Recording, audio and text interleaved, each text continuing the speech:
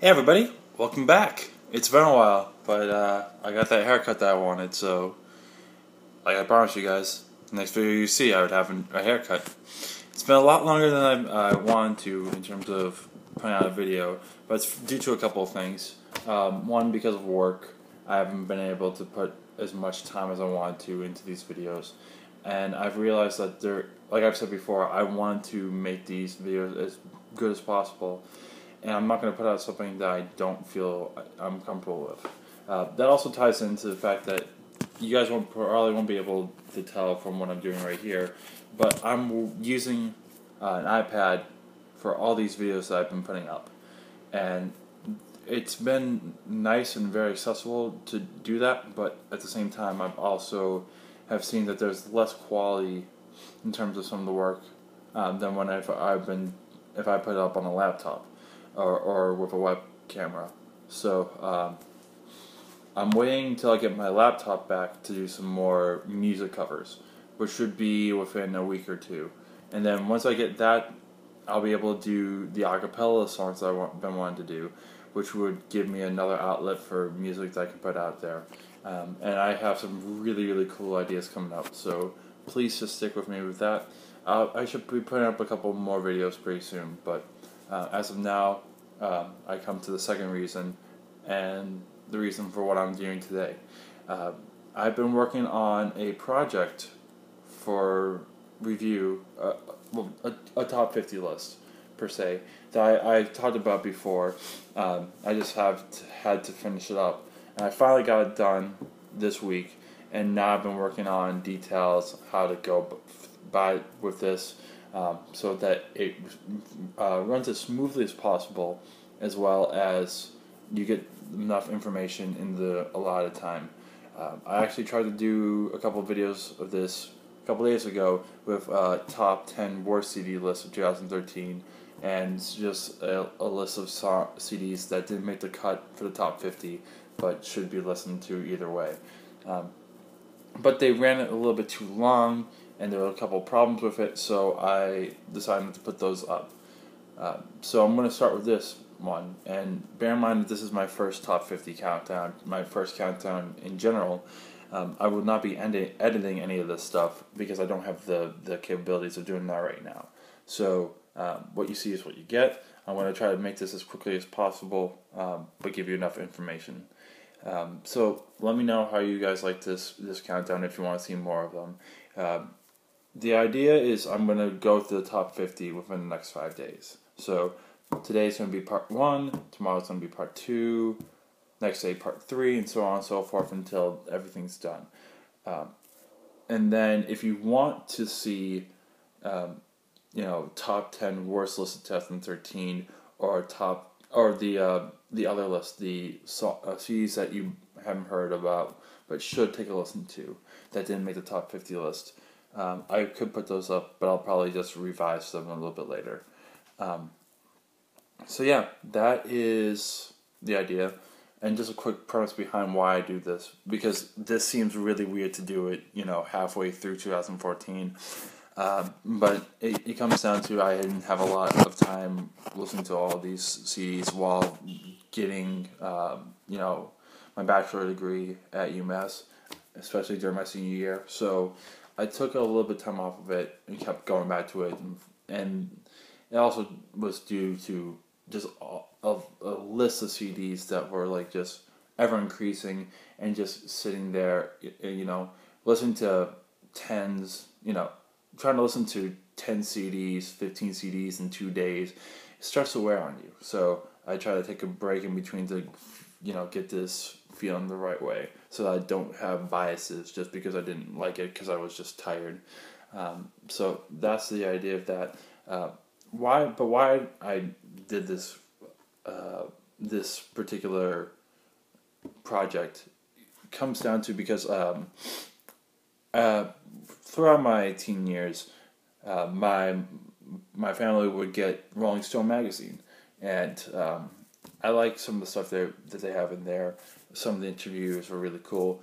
Uh, but they always seem to drop the ball in terms of uh, music reviews and CD reviews.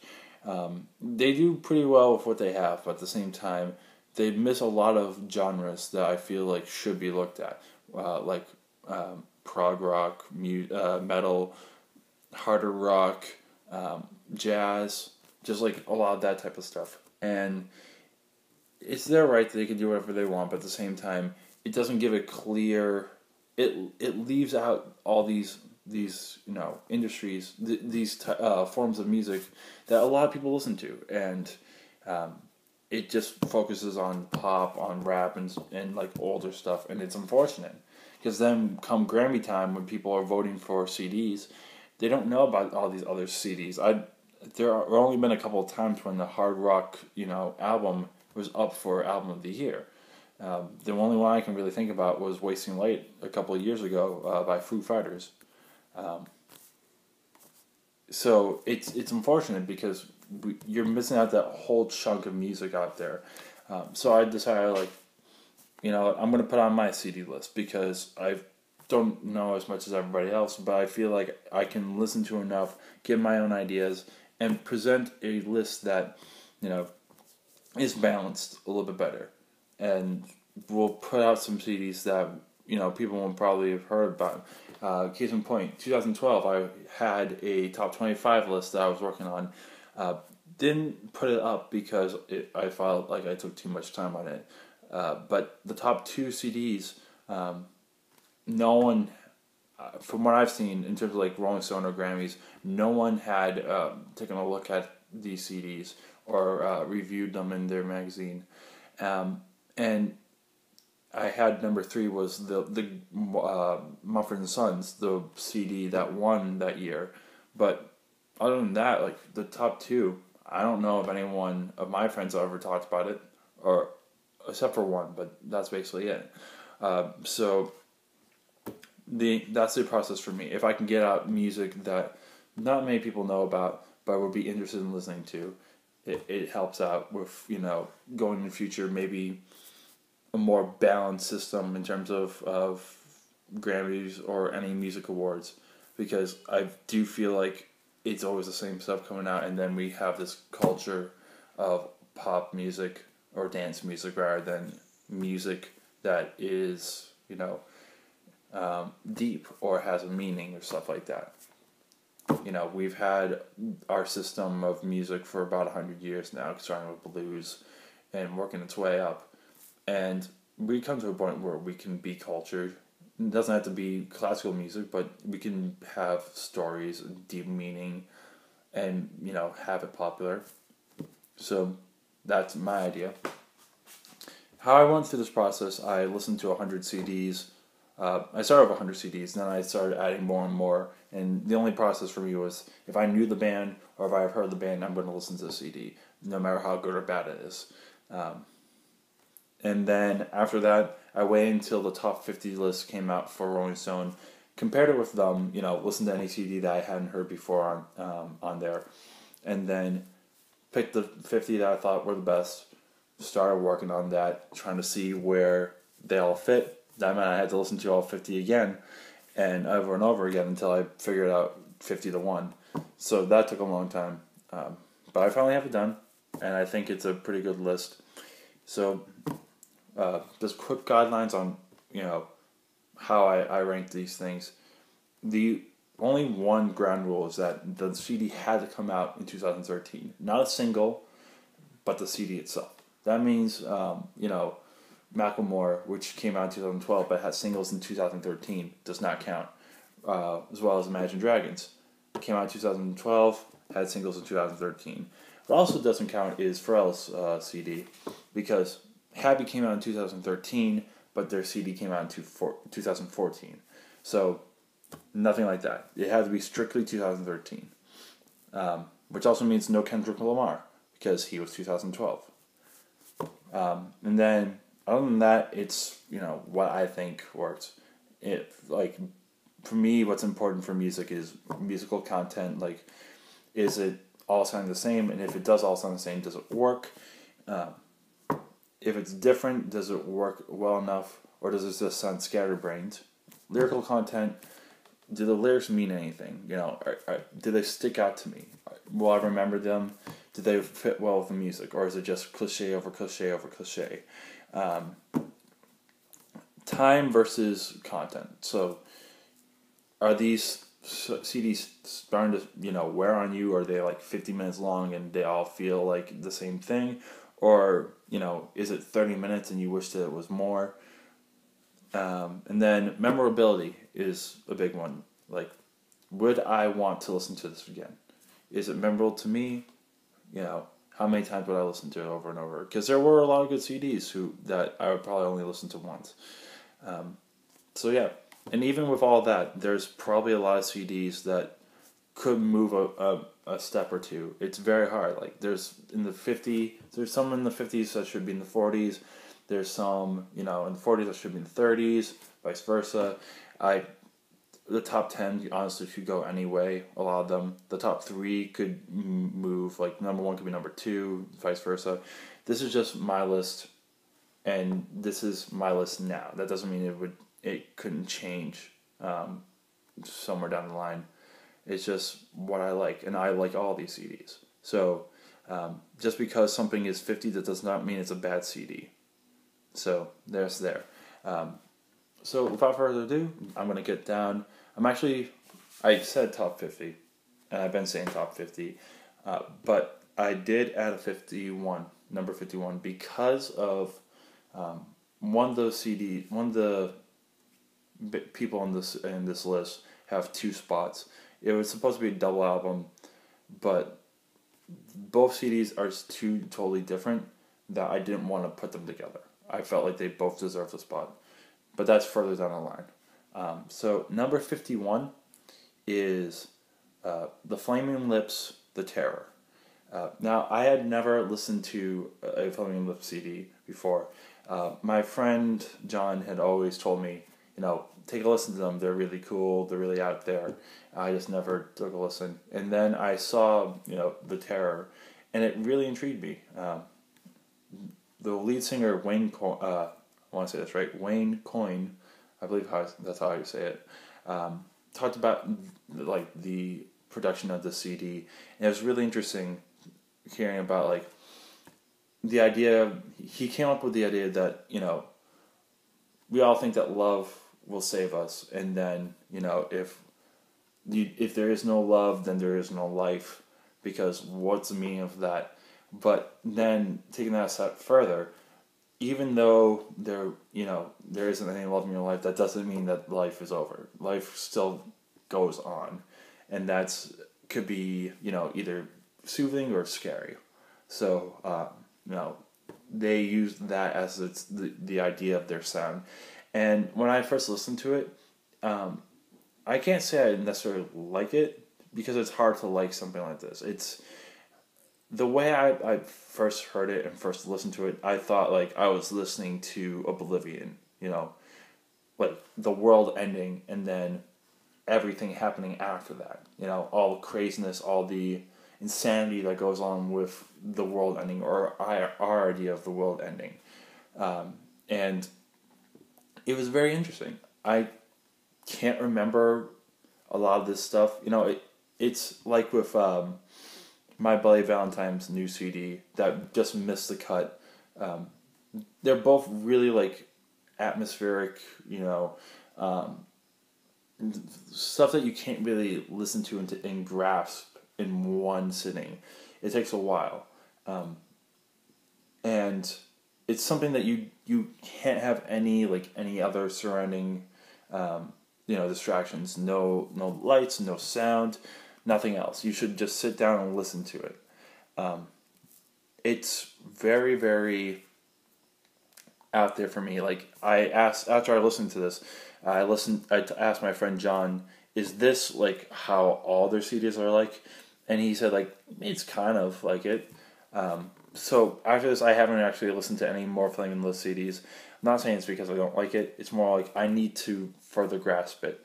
And why it's so low is because I can't remember a lot about it. It's very, it is a very, uh, it's very long CD. First off, it's fifty five minutes, um, and like out of these eleven that I'm talking about right now, it's one of the the longest. Um, but it just really sucks you in, and you want to listen to it again. And I will definitely listen to it again somewhere down the line, just not now. And um, you know, I can't really say anything much more about it. It's just something that you need to listen to on your own. Um, so that's number fifty-one.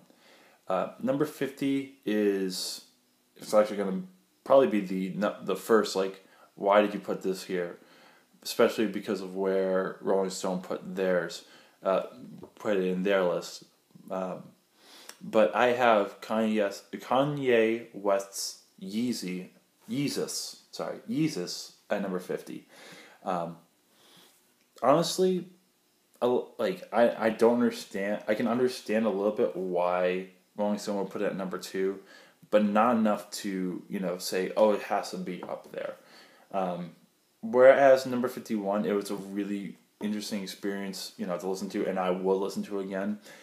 Everyone's been saying um, you know this is this is so cool because it's so dark and something that we've never listened to for a rap album. And I'll admit there is a lot of originality in it, and that's why I still kept it on this list. But to me, all the dark tones that um, he tried to put in the CD, you know, his lyrics were the one thing that got in the way. Whereas this could have been like a very cool, very concept album idea where, you know, very dark, very dark message, like what he did with um, My Beautiful Dark Twisted Fantasy. It's not, I don't know if it's necessarily a concept album per se, but like the ideas that went around with it as well as the video, the you know, in, um, encompassing a lot of the, the songs um, on that album, it worked really well.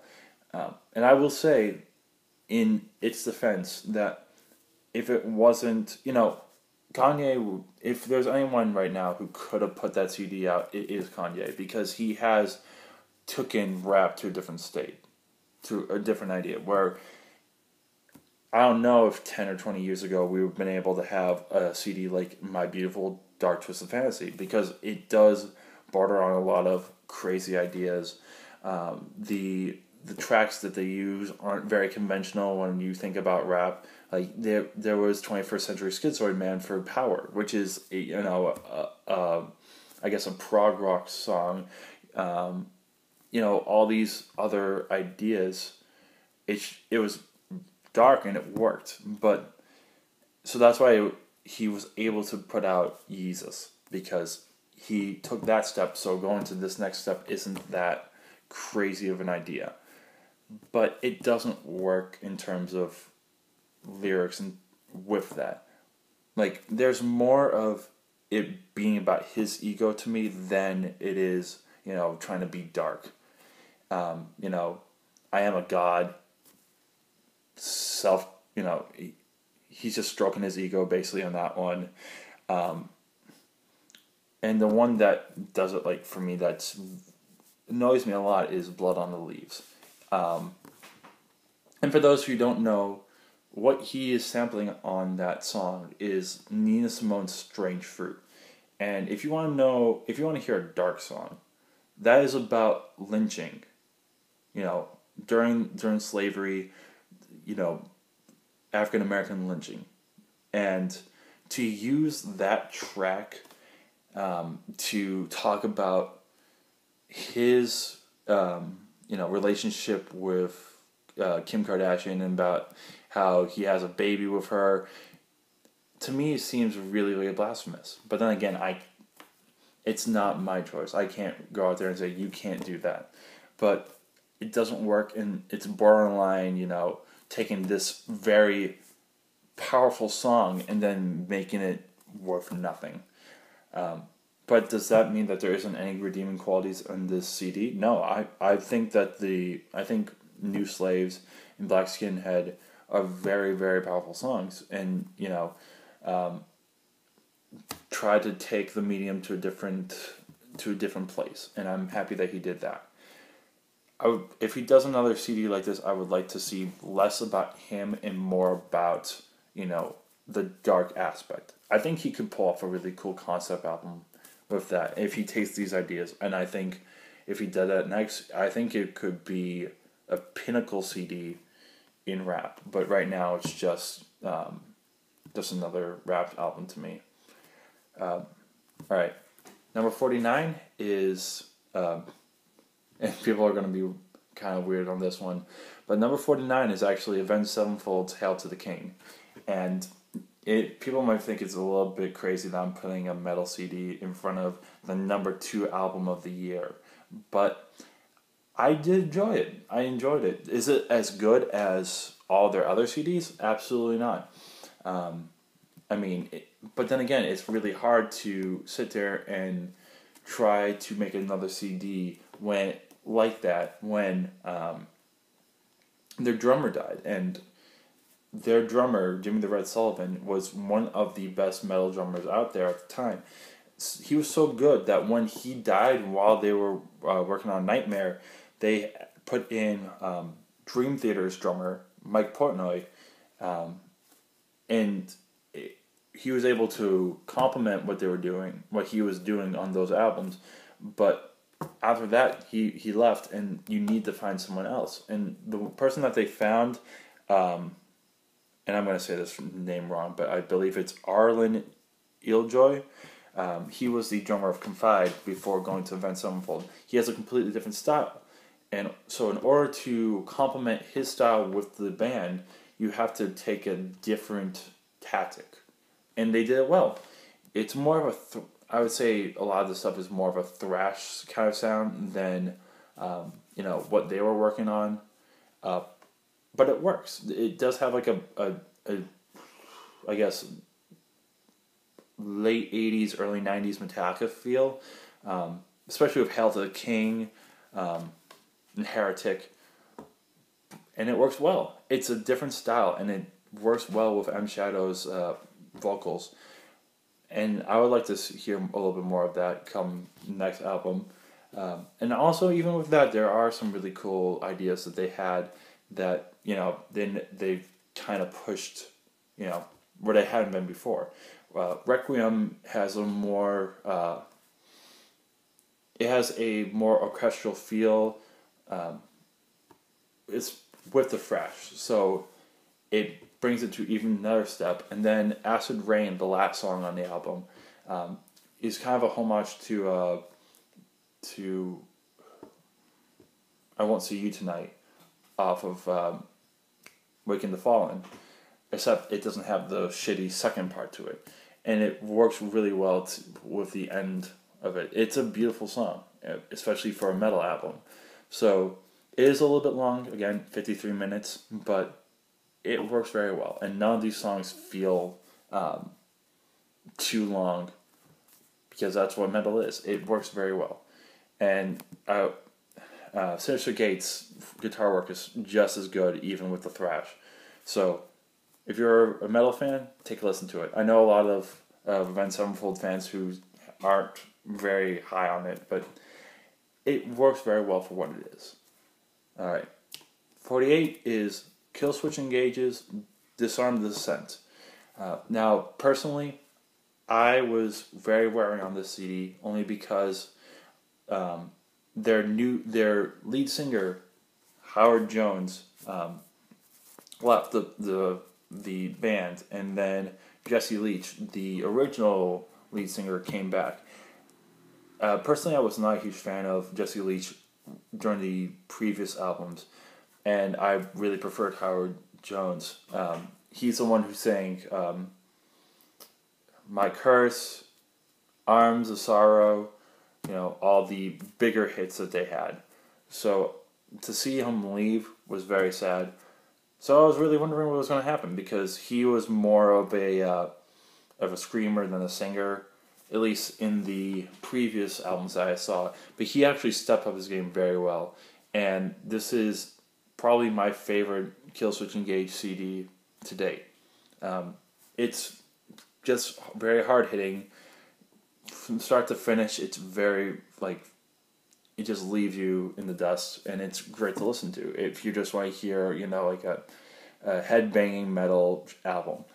Um, in due time Beyond the Flames, great songs. And the standout one to me is actually the one that's the, the slowest, is um, Always. and it's a power ballad.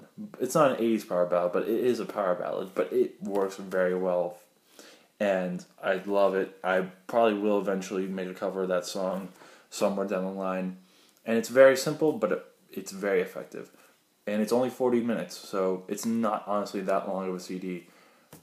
Uh, when compared to Avenged Sevenfold, so take a listen to it. I would say that it's not as memorable sometimes when it comes to uh, when it comes to you know Hail to the King because Hail to the King songs are a little bit more diverse, but nonetheless it doesn't really matter as much because of the um, the short time. It doesn't overstay its welcome. All right, forty seven is Elton John's uh, diving board. And I actually had this up a little bit higher before. Uh, sorry for the the sun. I'm actually going to leave my finger there. Um, I had it up a little bit higher because I thought it was a really really well done CD, especially for someone who has put out in his career 31 albums. Like that is insane to think about. There are most most bands nowadays have put out like four or five. You know, some of the older ones have put out maybe nine or ten to put out 31 albums over a career is insane. And to be able to do as well, you know, right now than you were maybe in the 60s or the 70s is just as impressive. Um, I will say there it's not maybe maybe his best album, but then again, you have 31. You have the right to have something that's not as good as your your your finest album. Um, and also there probably won't be you know the song that stands out just like you know uh, Bennie and the Jets or Goodbye Yellow Brick Road, you know any of his his better songs. You know Saturday Night's all right, um, but in a, on the whole, it's a still really really um, good album. Uh, Home Again, beautiful song. Uh, let's see. Kids in the Candlelight, just a fun song to listen to, and um, there are he. I'll say the one problem I do have with the CD is that there are some weird uh, lyrical choices. I guess um, My Quicksand, the chorus is very very interesting, as well as New Fever Waltz, but what I love about him is he's able to you know, tell story through every song.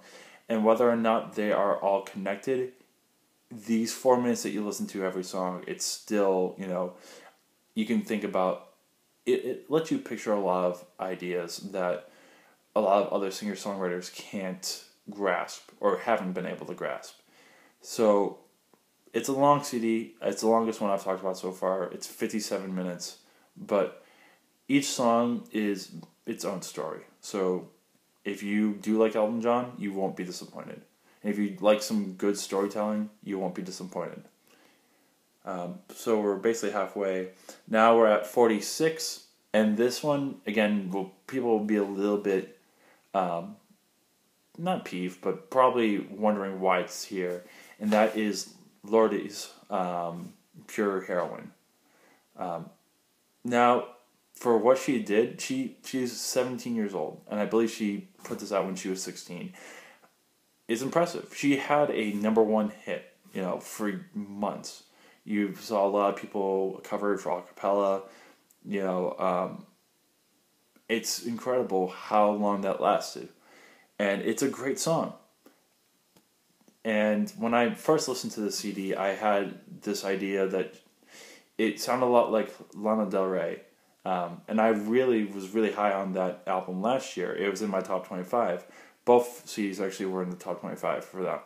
Um, and it was really cool to hear this dark idea, um, you know, this somber singing rather than, you know, upbeat, we're going to party all the time, stuff like that. And, and with Royals, where you, she was talking about, um, you know, we'll never be royal, it's not in our blood you know, all this idea of being high class and, you know, having a party and stuff like that doesn't appeal to her. And um, a lot of the songs, you know, talk about partying or about school or about, you know, the the ideas of growing up, the hardships of it. because that's where she's at right now. Um, so I do commend her for what she was doing. However, if I had to base this compared to Lana Del Rey CD last year, uh, it doesn't stand up as much in terms of memorability because I feel like a lot of the Lana Del Rey songs feel a little bit more diverse, and I honestly like her singing over Lorde, uh, Lorde's, but um, it's still a great CD to listen to, and um, I listened to both the this one and the deluxe version of it. The uh, original one goes about thirty seven minutes, while the deluxe goes fifty six. Listen to either or; yeah, they're both very good. It's just for me in terms of memorability and in terms of diversity of of song choice, it's not um, up there with some of the other ones. Uh, so I hope to see what she does next, but as of now, it's only at number forty six for me. Number forty five. Uh, now my jazz friends will probably be a little bit more mad at me for this one, but this is Gregory Porter's Liquid Spirit. Um, I told my friends in the Vocal Jazz department that I was doing this list, and they kept saying you have to listen to Gregory Porter's CD. It's phenomenal. It's fantastic. Um, and to their credit, he won the vocal jazz um, best vocal jazz album of the year for Grammys. So there's nothing wrong with that. Um, it's just for me, when in terms of other jazz CDs this year, it doesn't hit as its mark because it's not as memorable. And I guess that's a little bit on me because I haven't listened to it as much as say some of the other jazz albums. But when it comes to it, I for me like vocal jazz albums are hit or miss because there isn't as much it's not it's not there's not, not much originality, but it's more like you you get to have a, a lot longer songs when it comes to jazz if you are you know in a um, a quartet or you know a, a, band without a vocalist rather than if you had one. Because usually your songs uh, i'll give you an example. Kenny garrett cd i think most of the songs were about seven or eight minutes maybe even nine or ten whereas i believe a lot of the gregory porter stuff was four or five minutes long. You can't have as much ideas because you know you have a vocalist featured so i think it was a great cd but in terms of is it as good as some of these other vocal CDs this year. It's not. Um, so, but before I leave you with it, um, I definitely want to say like when I first listened to him, even though my friends thought me a little bit crazy for it, I thought he sounds a lot like Kurt Elling, and I, he's one of personally one of my favorite singers out there. Um, he doesn't have the the showmanship that Kurt Elling does, I believe, but um, he also makes up for for being a wonderful piano player. So um, definitely take a listen to it if you are interested in vocal jazz. I mean, you can't go wrong. It won Grammy of the Year for it. Um, especially listen to When Love Was King, because that is a beautiful song. And I honestly thought it was a standard that he was covering. But it was, I believe, from what I understand, unless I'm looking in the wrong places, it is an original song by him. And he just takes it out of the park. Um, and I believe that's the second to last song on the album. But it is a song you need to listen to, whether or not you want to listen to this whole CD. Just listen to that song first, and if you don't like it, then stay away from the CD. But if you do, definitely take a listen to the CD, uh, because honestly, it's I believe it. I couldn't find the the the total time, but I believe it's about 40, 45 minutes, so it's not that bad in terms of time. Um, forty four. I think forty four is going to be even more disappointing in terms of my vocal jazz friends than number 45 because of what I put up above Gregory Porter. But I really, really like this CD, and because it's not as long, it doesn't wear on you. Like, this is the, the shortest CD so far, and it only clocks in at 32 minutes. Um, but every song on there, you know, works with the time it has. Um, and this is Panic at the Disco's Too Weird to Live, Too Rare to Die.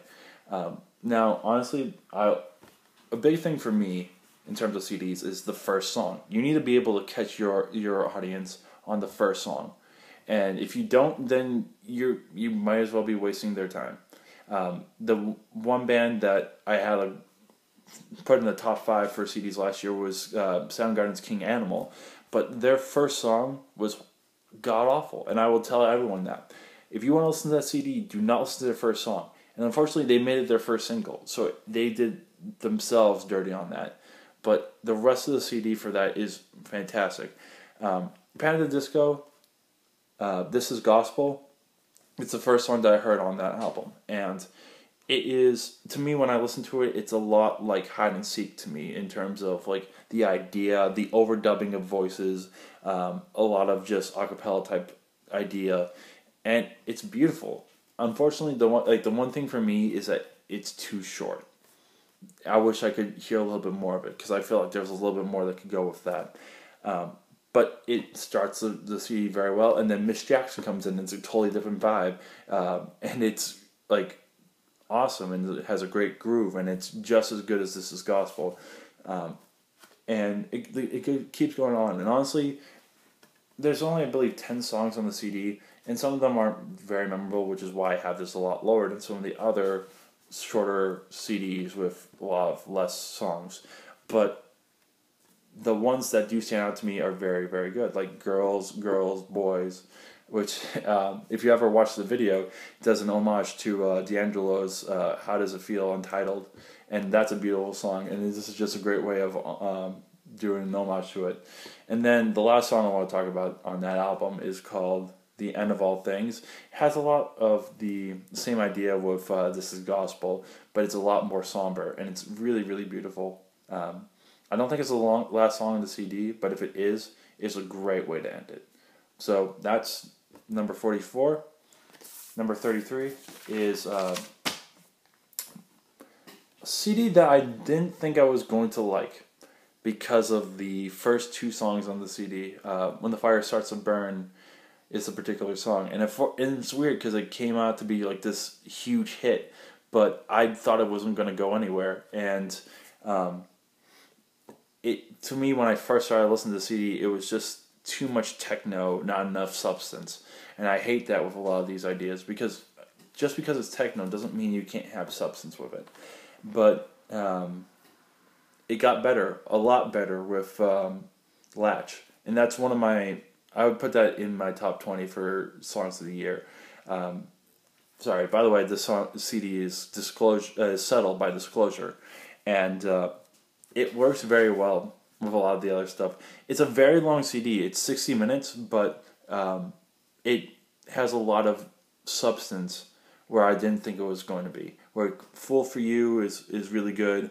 Uh, Latch again by Sam with Sam Smith, and if you haven't heard of any of his other stuff, he has a beautiful voice, and I believe he came with a, a CD this year. I haven't listened to it yet, but I want to listen to it. It's definitely up there for stuff I want to listen to.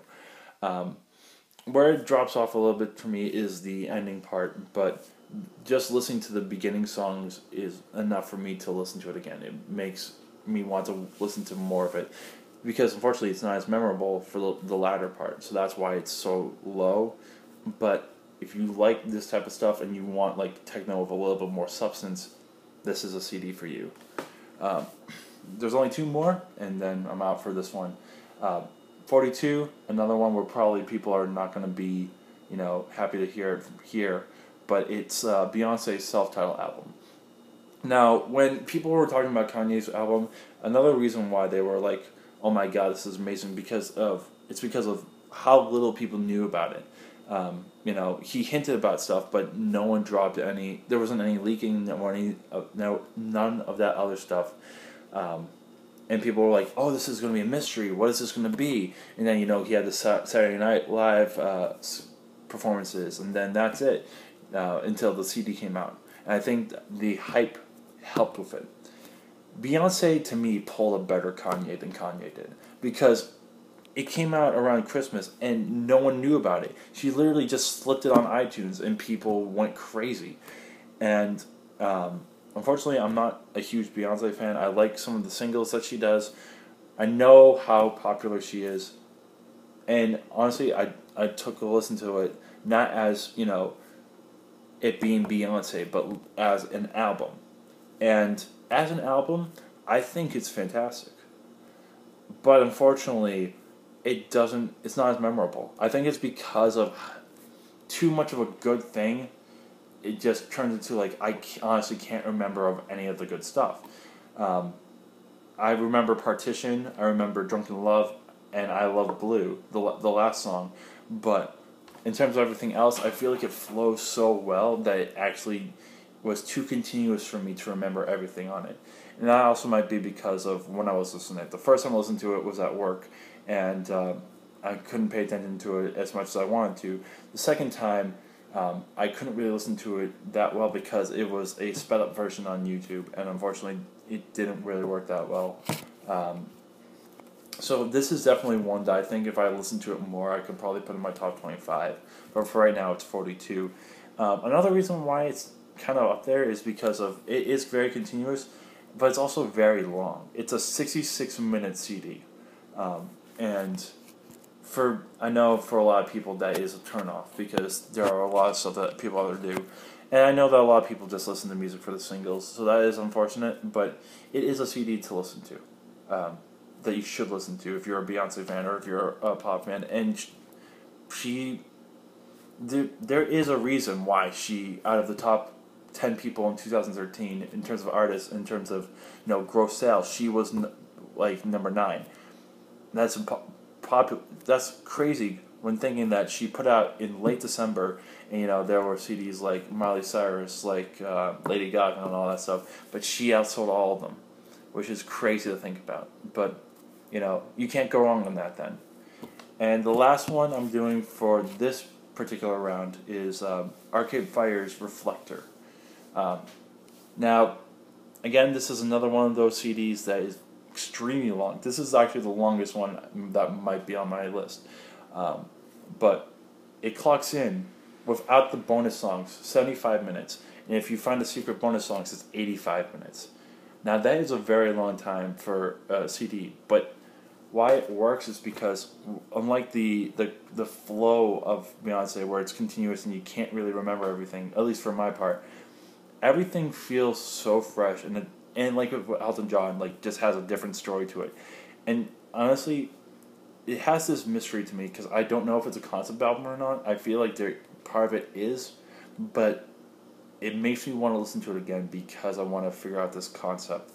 Um, ones that stood out to me definitely are Porno, which I think is a great song. It has a, a very funny message. Reflektor, the, the lead single, uh, is a great song, and it got me hooked onto the CD. Um, and Joan of Arc, which came out of left field for me in terms of everything else that was on there. Um, I, I believe the other one that really stood out to me was Here Comes the Night, and just all these different feels because like porno I believe was in normal per- normal portion was like straight up rock. Reflektor was more you know um, had it was a, a, lot longer song and it had a lot more depth to it. Uh, Joan of Arc was kind of like I can't really explain it that well, but it had this like feel of like eighties rock. Well, not really eighties rock, but like eighties or seventies rock. Um, and then like um, now here comes the night had the idea of like Caribbean feel with a little bit of pop in it too, a little bit of dance. So it all, all around it's a very cool experience to like like with um, the terror. It's a very cool experience and one that needs to be listened to um, without any other stimuli. So that's my part one, number fifty one through forty, and it was a little bit long, but also because I had an intro. So it should mostly should be about thirty minutes when they finally get done. And I'll try to be a little bit quicker next time. But that's my ideas. Uh, I'll put them down in the description again, or at least like where each one of them starts, so you can know. Um, I can tell you where every one of them is, like where, you can listen to them. Uh, I'll tell you now that Beyonce I couldn't listen to. It's all it, you can buy it on iTunes. I think I found it on YouTube a couple times, but they're not that good quality. Um, one other thing with uh, the Terror, which is another one that I didn't listen to on Spotify, it's on there, but I don't think it's the full length. So take a listen to it. If you don't find that, it's also on Grooveshark. Uh, but I'll put the the links of where you can find all of these. Most of them you can find on Spotify. And tomorrow you'll see part two. Let me know how you like it and uh, what I can do better because this is my first full uh, top ten or part one, I guess. So hope to see you all tomorrow.